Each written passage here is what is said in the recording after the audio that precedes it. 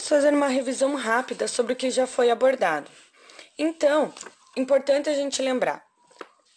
Quais as eras geológicas foram formados os nossos solos, tá? É importante que vocês consigam fazer esse link. Então, retomem o capítulo 2 lá na página 8 e façam a análise, tentem pontuar é, eventos específicos de cada, de cada período e era geológica, tá?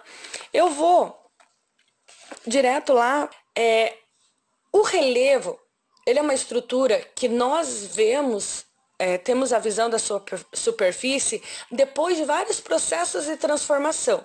Mas é, nós temos que analisar a origem dessa estrutura. Né? Por que a origem? Porque nós sabemos que a rocha vai sofrer com os processos interpéricos, então ela vai mudar ao longo do tempo. Pensem que um dia é, a Serra do Mar do estado do Paraná, que vai fazer divisa com o litoral, entre o litoral e o, o primeiro planalto, o que, que a gente tem? presença de serra. Pense que um dia isso foi uma cordilheira dos Andes. Para ele estar como ela está hoje, ela sofreu milhões e milhões de anos de processos interpéricos para que ela chegasse nesse, nessa constituição atual. Ou seja, a formação dos solos é devido à quantidade de processos interpéricos sofridos pela essa rocha que um dia foi uma grande cordilheira. Então, entender as especificidades do solo não é só entender ele agora, nesse momento, mas é entender como ele já foi um dia e por que, que ele se transformou no que ele é hoje.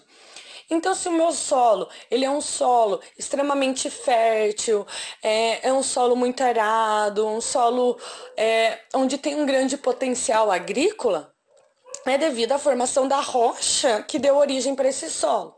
Então, nós temos formação de rochas magmáticas. As magmáticas podem ser intrusivas e extrusivas.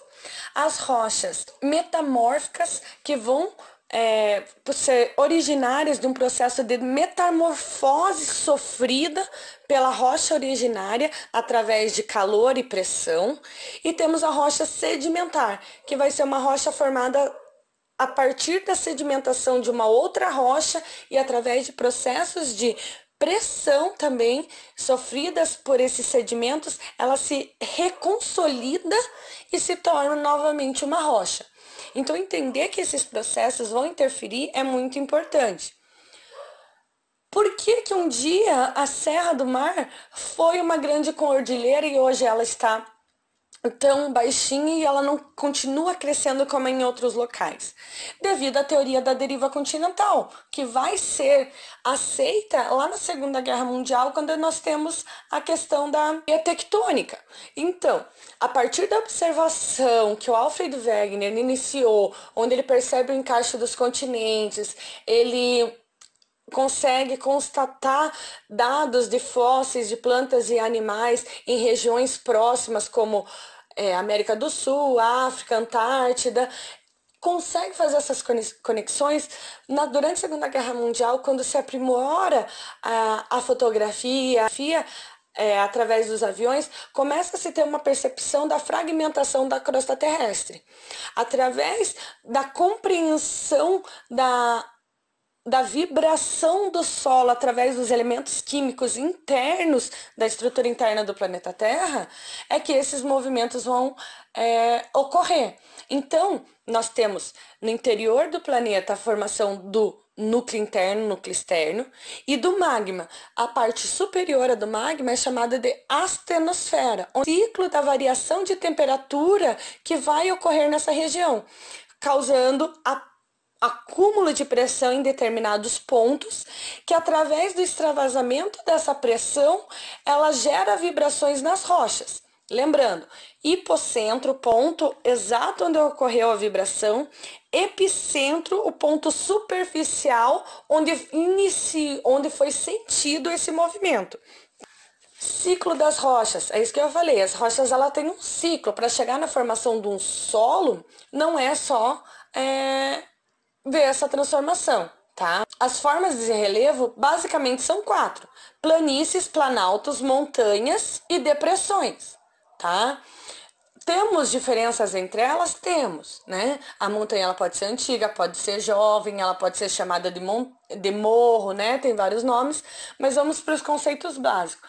Planície vai ser uma região mais plana, que não tem grandes é, diferenças, então ela não, tem, não é considerada um relevo acidentado, ela é um relevo plano com baixas é, ondulações ou diferenças de níveis. Cadeia montanhas ter a grandes altitudes e geralmente apresentam neve no seu cume. Planaltos, básico, ele é plano e alto, tá? É, vai ter uma altitude elevada, mas a região é plana. Já falei para vocês. Paraná é constituído de três planaltos. Nós estamos em um planalto.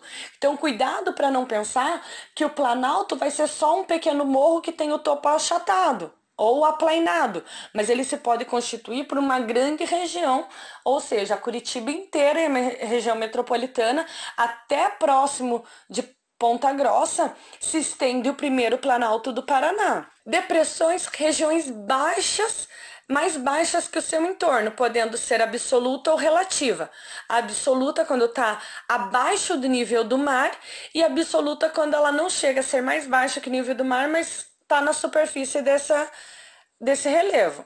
Retomem a leitura do capítulo 3, lá na página 26, 27, tá?